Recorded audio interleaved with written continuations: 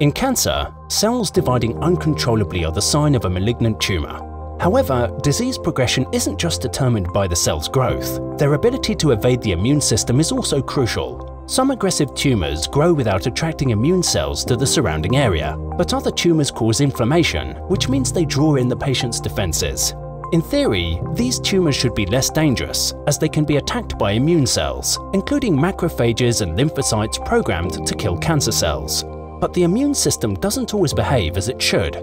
Some cancers can trick the patient's defenses, making those nearby immune cells help the tumour grow, instead of attacking it. How this happens is not clear. In a new study published in Nature Medicine, scientists from the melanoma group in the Spanish National Cancer Research Center have discovered how skin tumors deceive the immune system.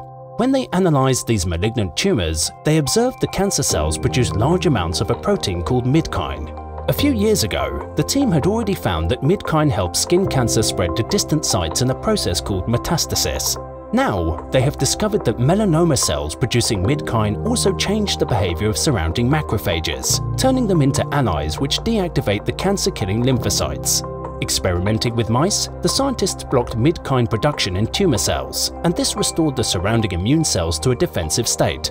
Then they validated the results by analyzing data from patients who had been treated with immunotherapy. The scientists found other cancers in which midkine plays a similar role. This study has important medical implications.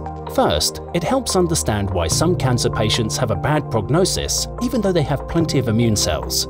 And second, it opens a treatment option based on blocking midkine and combining this with other immune-based therapies. Now, the technique will have to be tested in clinical trials, but scientists have a new midkine-based approach to use.